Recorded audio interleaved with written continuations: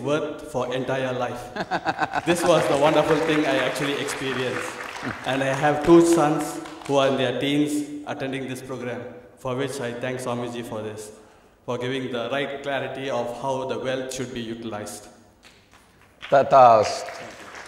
And the second thing I want to say is about the miracle that happened for me. Actually, I'm a patient having a lower back problem, having uh, th- uh, three places like L3, L4, and L5. And this uh, disc prolapse happened in 2010, for which I had to rest for almost like 10 days in hospital and a month uh, stay at home to recover.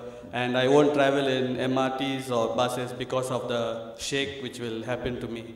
So I used to take cab.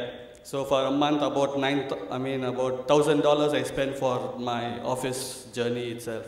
So this was my situation.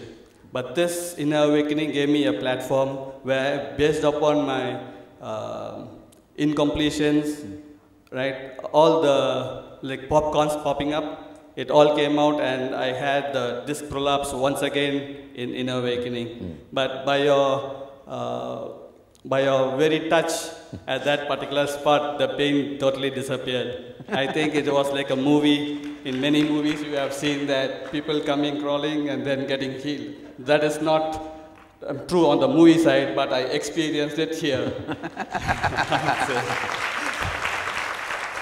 and uh, another thing is, this gave me a courage that I I should live, I mean, listen to the body itself.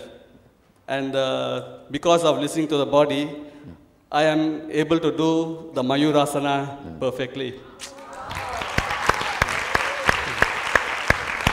And this is actually Swamiji's gift, I would say, giving the courage inside me and make, starting to love my own self.